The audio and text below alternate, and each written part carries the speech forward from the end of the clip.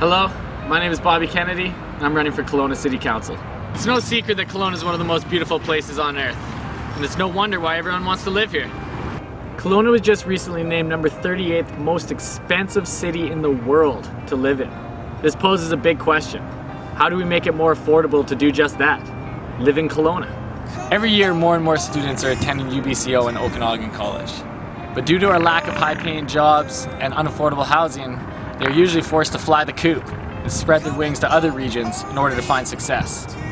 We must find a way to be able to keep this young talent here in order to grow Kelowna forward with strong, vibrant, fresh ideas. If we cannot find new ways to attract new business, bring higher paying jobs, and definitely increase the affordability of housing in Kelowna, many of us will find ourselves upstream without a paddle. I honestly believe that hard work and thinking outside the box is the only way to conquer this problem. By bringing fresh faces to council, we'll then have a fresh approach to the city's biggest issues at hand. By working hard as one, we'll soon be overflowing with success. And that's something everybody can be happy for. We need to put an end to homelessness and hunger. Everyone is created equal, but not everyone is as fortunate as some. By providing homes and food for the less fortunate, we can provide some stability and make sure that they're no longer considered just rolling stones.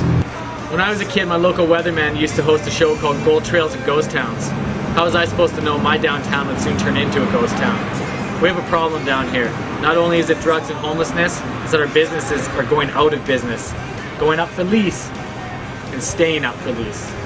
We need to change this. The revitalization of downtown is something that needs to happen, and is going to happen. With Bernard Street reconstruction set as a go, we must ensure our wants for beauty is not overshadowing the hard work and needs of the local merchants. We may be ripping up the very foundation they have been paving their dreams with. We must work closely with these business owners to make sure we are not taking a step in the wrong direction. Hi, I'm Tim from Asphalt. I uh, own a business uh, down here on Bernard Avenue. I would love to see growth downtown.